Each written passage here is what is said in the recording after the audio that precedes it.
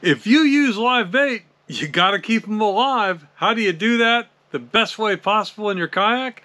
Well, stay tuned. I've got the solution.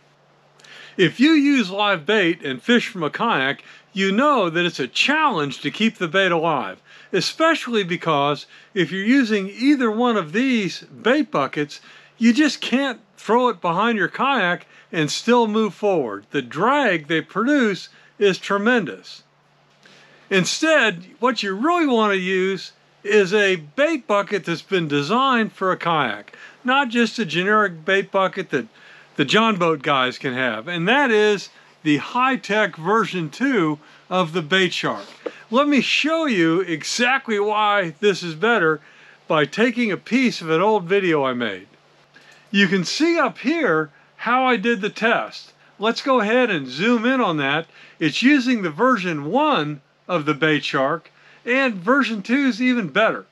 With the motor cranking at a consistent RPM, we see that the Bait Shark models, both of them, essentially ran right over the top of the water and allowed the boat to keep up the baseline speed. But as soon as I put that Frabill on, wham! There goes there goes all the all the miles per hour. So given that horrible drag, chances are you're not going to drag one of those traditional buckets behind your kayak. Instead, you'll take it and either put it in front of you or put it in back of you. And for sure, if you got a lot of bait in that bucket, they're going to die. In fact, you could probably only have six baits of this size in those buckets for any length of time. Well, that's where the bait shark here solves that problem. In addition to rolling smoothly behind your kayak, as I showed you in that video, it's designed for the maximum water exchange to keep everything alive. And the secret is in how these uh, openings have been de designed.